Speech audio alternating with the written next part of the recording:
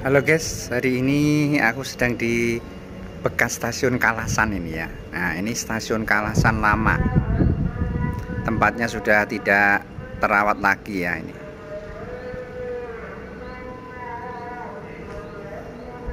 Nah, ini relnya. Ini dulu stasiun.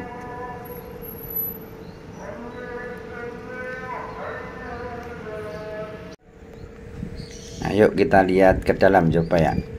Stasiun ini mulai dinonaktifkan itu tahun 2007 seiring dengan pembangunan jalur ganda lintas Kuto Arjo Solo.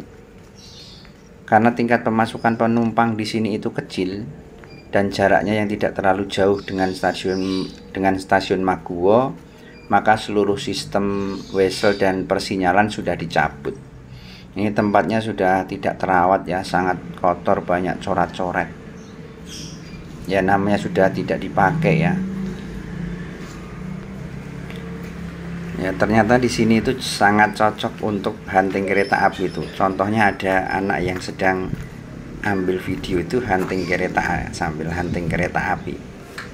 Karena tempatnya itu ya buat ambil gambar enak nih relnya lurus nah ini salah satu contoh nih ini saya ngambil dari dalam ya ada kereta lewat ya Mas ada kereta lewat. Jadi enak buat hunting kereta. So buat kamu yang ada di sekitaran Kalasan ini bisa untuk hunting di sini ya. Nih tempatnya enak luas buat hunting Buat kalian yang sudah nonton video ini saya ucapkan terima kasih. Jangan lupa follow, like, komen, dan share ya.